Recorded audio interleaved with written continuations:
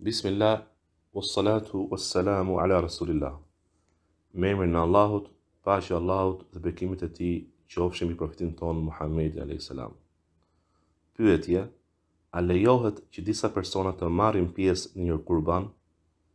Dhe sa është numri më i madh i personave që lejohet të marrin pjesë në një kurban nëse lejohet bashkimi i disave në një kurban?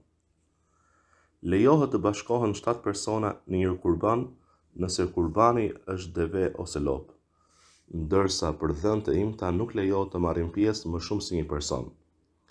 Është saktësuar se shokët e Profetit lavdërimet dhe paqja e Allahut qofshin mbi të dhe Allahu qoftë i kënaqur me shokët e tij, janë bashkuar në një kurban kur ishin në Mekë për ritin e haxhit, shtatë persona në një deve ose lopë.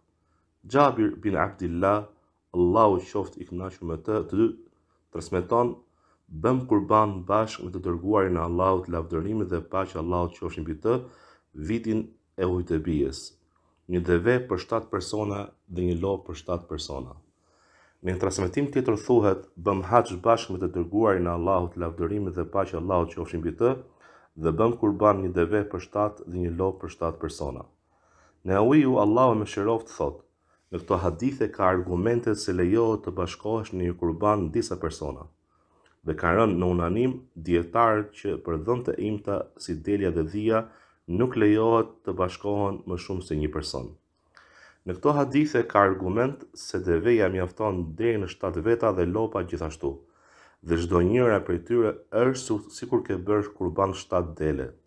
Dhe nëse haxhiu ka detyrë të bëjë shtatë dele i mjafton të bëjë kurban një deve ose një lopë dhe i pranohen të gjitha.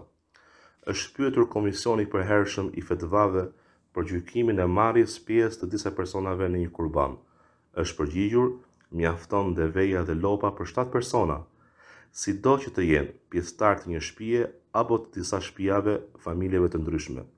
qoftë kanë afërsi farefisnore apo jo, sepse Profeti lavdërimet dhe paqja e Allahut qofshin mbi të lejoi shokët që të bashkoheshin në një deve dhe në një lopë çdo shtatë veta në një.